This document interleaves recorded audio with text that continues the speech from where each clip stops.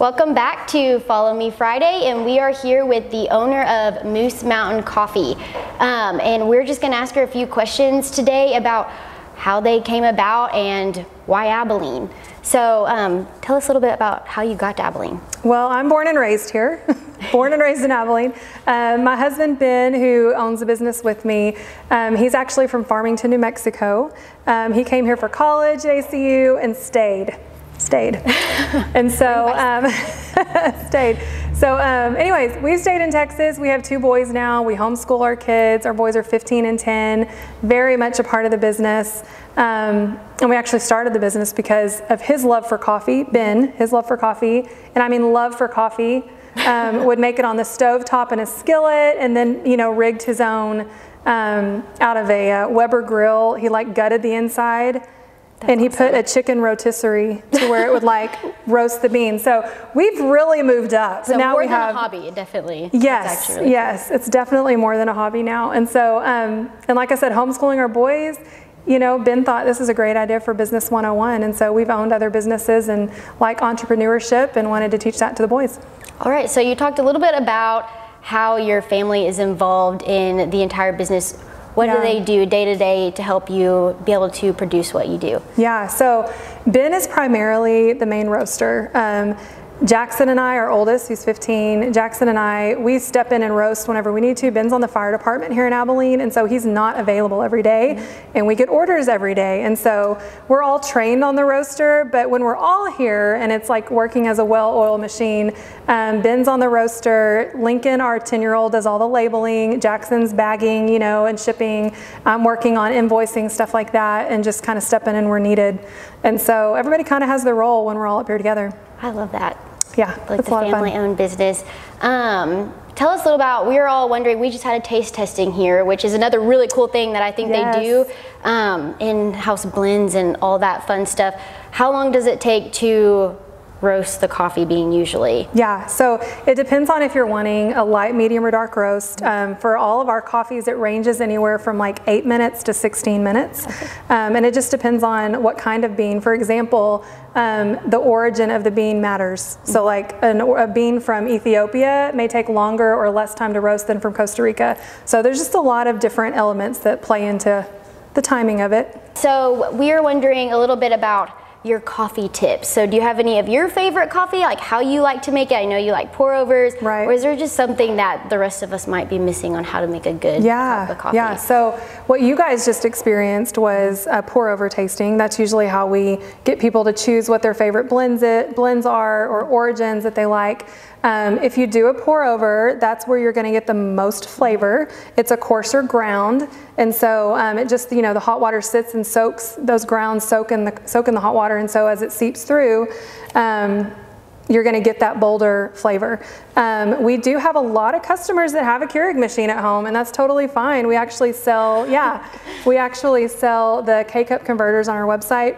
Um, those are great. You do need a more fine ground to, to make a good cup of coffee with our coffee in that. But, um, you know, convenience is everything. We get it. And so that is why we have that available. But pour overs are our personal favorite and what we do a lot around here. Gotcha, gotcha. So how much do you produce, say, about a week of production of coffee?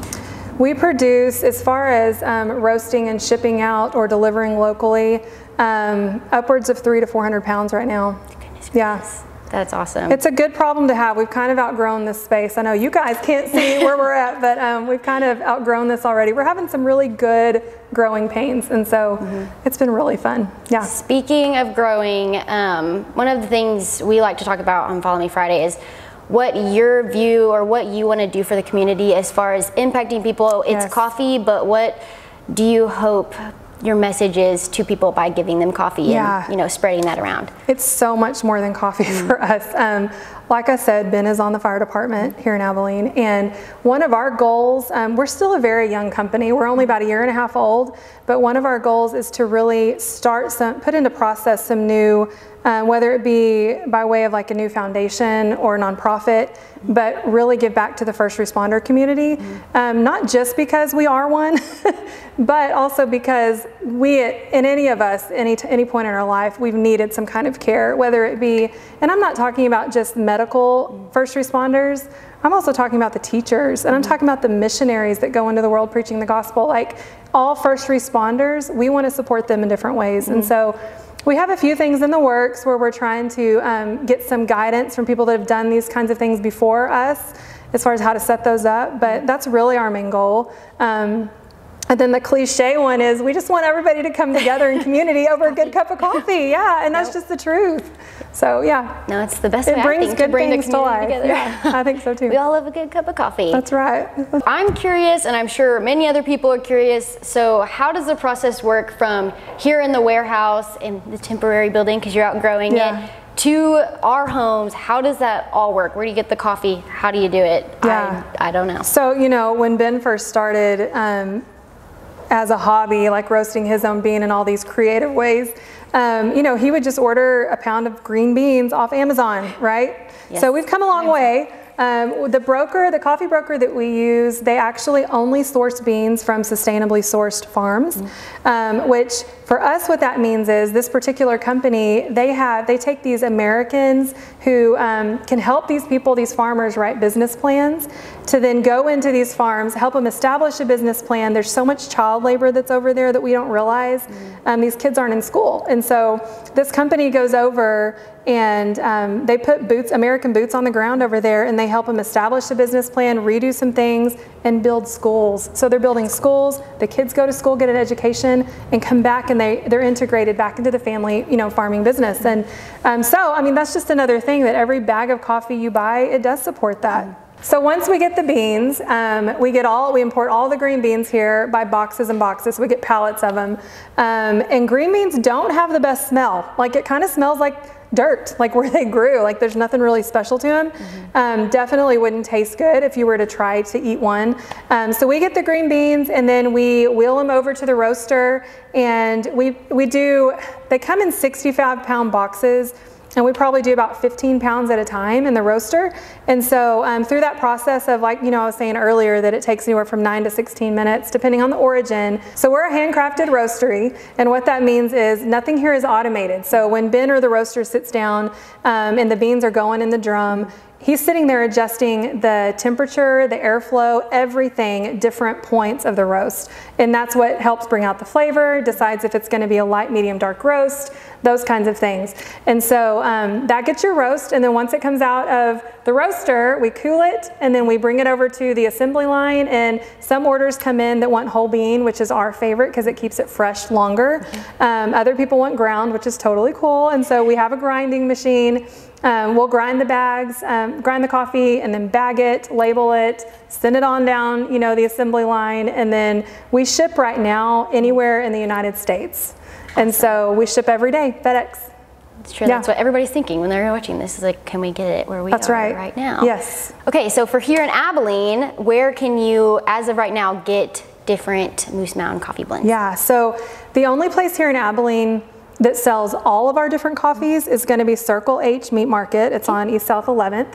Um, if you want something that's a little bit more local and special, we have several different businesses that have done private blends. For example, The Shed, the only place you can get it is at The Shed, and it's amazing. Um, also, uh, Life of Pie has two blends that they do. Um, and so we have people like that that are, that are starting to do their own private blends to where they come in and anything you purchase from them, it's something their, them and their team have chosen. That is And what I think is so cool. When we came to Taste Test, the first thing they told us was like, this is specifically for y'all. And Right. so the time, it just shows the time they've taken in each specific blend to make it unique, which I think is really cool. And it make, it's really cool to be able to offer that as a business to your customers Mm-hmm. because it's kind of an extension of hospitality and like we put a lot of thought into this, you know. It's not just us roasting it, it's you guys coming and sitting down and going through the process of like what tastes good and what kind of sums up our favorite coffee. So And we loved it's it. It was so much fun. Yeah. And that wraps up this Follow Me Friday. Um, we loved coming to Moose Mountain Coffee, and we want to thank you for having us You are and welcome. Um, letting us crazy people have coffee today. So yeah, thank y'all come back sometime. Yeah. When your home needs to sell, pick the price,